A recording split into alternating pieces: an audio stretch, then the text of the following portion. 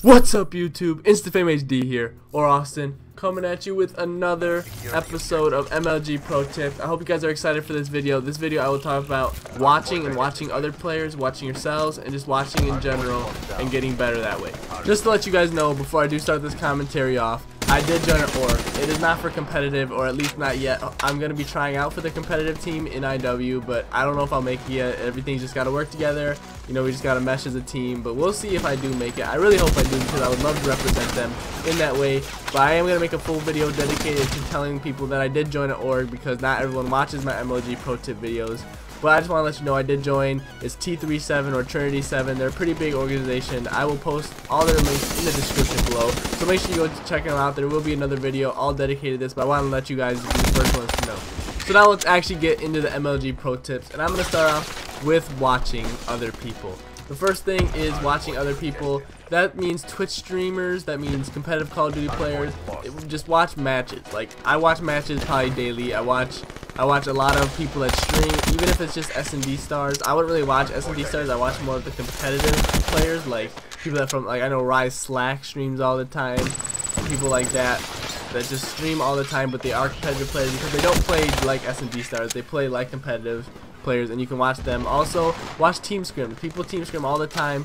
Try to find a Team Scrim to watch. They even if they're not professionals, just watch. Try to find some strats. Also, I know a lot of YouTubers do this, like Scump, Prim, Karma, all the, I, I just said all the Optic people, but Rise people do it, all the Elevate people do it. Just go check out their YouTube channels and watch for their full team scrim things or just match that the team scrim and they did really good because you can find out new strats and why they did that good. Sometimes it's just gun skill and you can work on that, but sometimes it is strats that they use.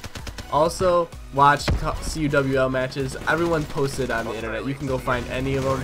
I'd recommend the Cloud9 versus Optic in the Cloud Champs. That is a great series. Watch those. You'll you'll learn some good strats. But that was probably one of my favorite series. just watch competitors compete because they they they can do this for a living. They compete every single day. Yes, they might not have the best strats because they practice against each other. That's the only people they practice against. But they do have good strats that you can use. And if you're trying to get to that level, you will be using strats like that. So just keep watching. And the very next, probably one of the most important parts is theater. Use advantage of theater. IW is going to have theater. Black Ops 3 had theater. Make sure you use theater. Theater is a huge advantage for many people. I know I saw one of Optic's videos. They said they were going to go to a film session. You know that's most likely in theater because they scrim every day. But when you do have a scrim, maybe an hour after you guys practice, 30 minutes after you practice, whatever, just take an hour of your time, just relax with your teammates. You all have to watch at the same time because if you grade yourself, you're not you're gonna think you did great. Just like if you read over your own paper in in college and high school, whatever you're writing a paper for, you're gonna think it's really good. But when someone else reads it over, they have a second pair of eyes. They can realize things that you didn't realize. So everyone just take responsibility for someone else. Like I'll watch my teammate, he watches the other teammate, and it's just like a circle. So you can just basically learn what each other does, and also you can learn what mistakes each other made.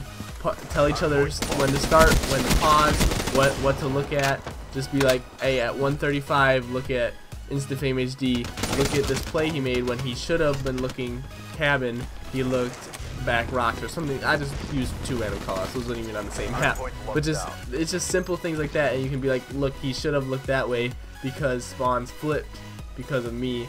Or search, we called out one back spawn and no one flipped around, and the person in the back should have flipped. Things like that you can realize, but you don't always realize during the game. So after the game, and practice makes perfect. And the, one of the big part of practice is listening and watching. And even if you're the team captain, you have to grade the team captain. I know he's the captain, but still, he makes mistakes. He's human. So always grade each other on what you guys are doing. And if there's something wrong, just talk about it in the in the theater, and everything. After that, it's gone. You know, if any fights break up, don't don't just go at someone and be like, you gotta win these gunfights. That's something that you gotta work on. That's something that you can't control with map knowledge and things like that. This is for learning. This isn't for getting better. This is for this is for getting better in knowledge wise and not for gun skill wise. Gun skill is something that comes. So don't ever get on your teammate about that. Don't ever start a fight. You know, if your teammate, some teammates are just like that. But never start a fight. Always just be positive for your teammates. Be like, you should have done this. We're good. You know, next map we're gonna get it. We're all good. You know, keep keep it positive because when it gets negative, if you guys lose a couple of scrims, you know, it might get a little negative, get a little chippy, and you don't want that. You want to keep the positive attitude always inside of your team so you guys can compete at the highest level. Nice.